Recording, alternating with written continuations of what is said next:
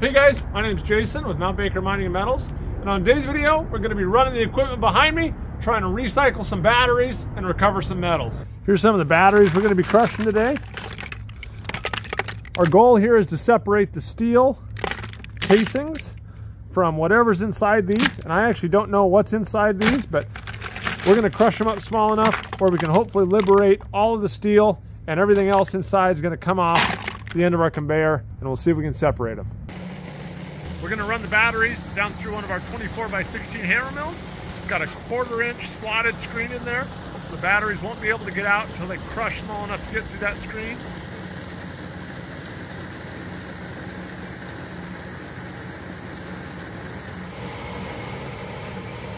It's gonna fall out this gray chute onto this conveyor here.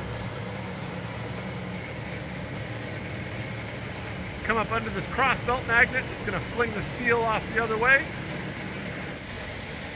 all the non-magnetics are going to come up here off this conveyor belt and into this garbage can.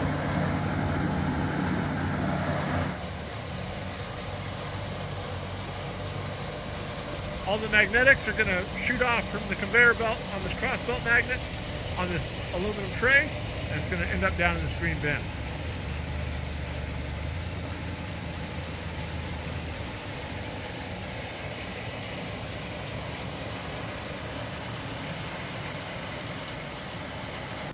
First, we'll take a look at the steel fraction here. There's a little bit of wire that came out from a previous sample. But there's all your ground up battery cases, I believe. All the ferrous stuff. Just got pulled out with that cross belt. We're great.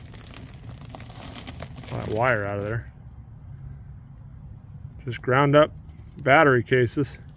And here's a look at the stuff that came out of the batteries. Went under the cross belt, filled our tub up. And I don't know what that is. Just black carbon looking stuff, I guess. But I expect it's full of good metals. And that's what they're looking for. Came really nice and clean. And here's a sample of the steel and that black carbon stuff. We can send back to the customer. They can see what they can do with it. Well, I think that test ran really well through the hammer mill. It liberated the steel from everything else in there. And I did a little research after the fact. Apparently it's zinc manganese dioxide and sodium or potassium hydroxide is that what's in that black stuff. So that's the valuable stuff. That's what they're after. And I think the hammer mill, crossbelt magnet and conveyor did a great job of breaking them up and separating them. So now they have the valuable stuff that they can go refine and the steel can go in the scrap bin. And if you guys are interested in any of the equipment you saw here today, you can find our contact information down in the description below. So thanks everybody for watching, and we'll see you on the next video.